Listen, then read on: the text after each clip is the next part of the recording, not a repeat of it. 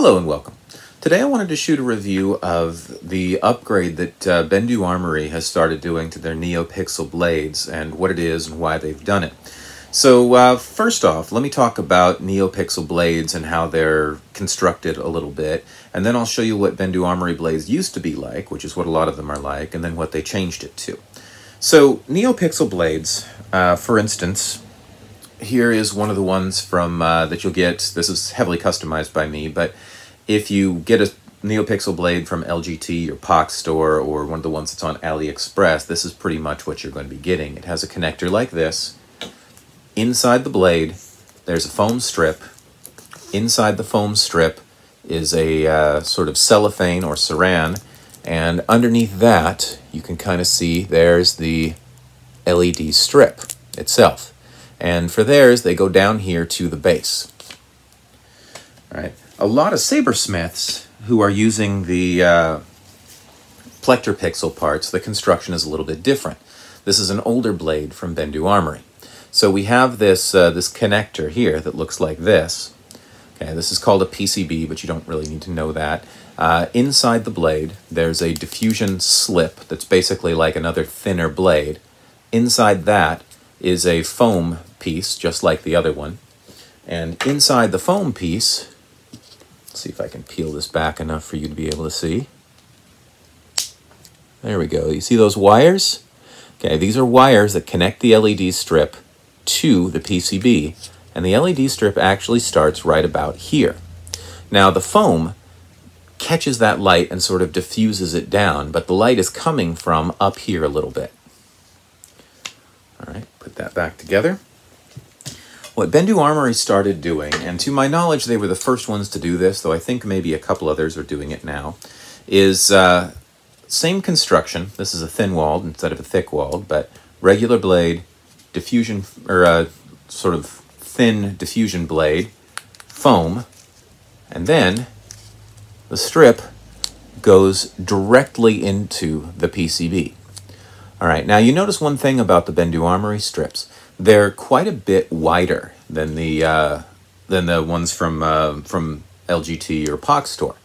All right, I don't know if that really makes that much of a difference. What it does do is it leads to a little bit of shadowing on the side because you got LEDs here, you got LEDs here, but you get a little bit of a shadow spot on the side with these that you don't get with the other ones.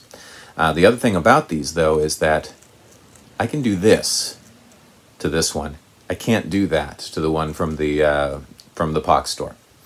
All right, so the LEDs go all the way down to the blade, so instead of having the LEDs start up here, they start down here. Now I'm showing you this, or I'm demoing this, at the beginning of the video you noticed I had a saber up. This is not a Bendu Armory saber. This is an Electrum Sabercraft saber. The reason I'm using this is that under most circumstances, that soldering the LED strip directly to the PCB is not anything that you're going to notice a difference. It is a little bit more secure.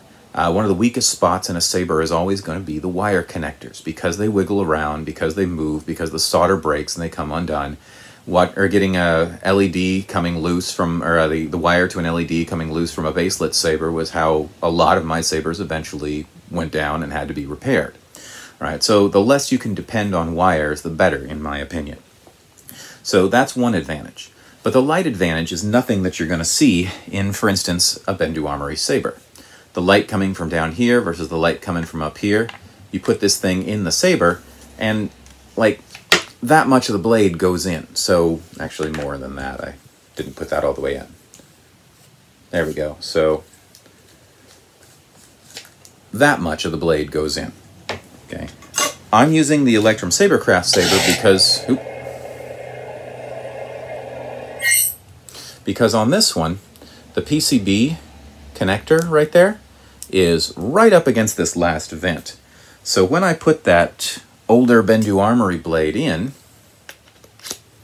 you can see on that last vent down there, the exact place where the saber meets, or the blade meets the saber. All right, so let me screw that in.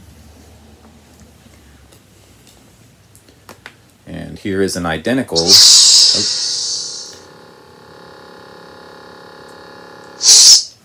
just as touchy. Here we go.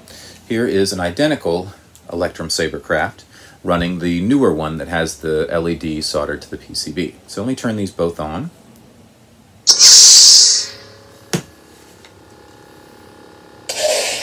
Okay, newer blade is in the etched one, the etched saber.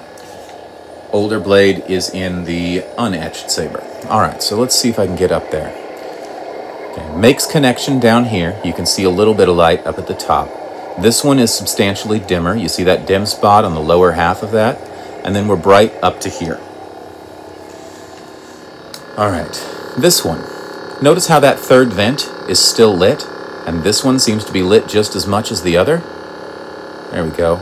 We can still see that the third vent is not entirely lit because we've got that connector down at the bottom there, but the light comes all the way down there to the base pretty much.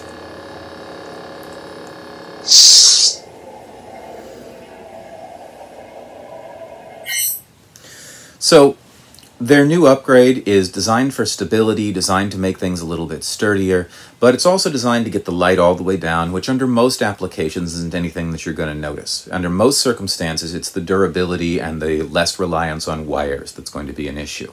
But under some circumstances, like for instance things with vents, sabers with vents, some of the stuff with a small socket depth, like you're going to get from some places like Vader's Vault, uh, a couple of their models have a real small socket depth uh, or things with Electrum Sabercraft, uh, that bringing the light all the way down to the PCB is actually something of value.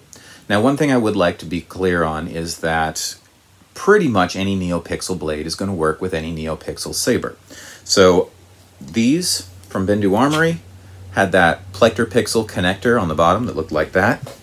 The first one I showed you from Pach Store had that uh, LGT or Pach Store connector that looks like that. I pop this into the saber. Works just fine. Okay, theirs also come all the way down to the base.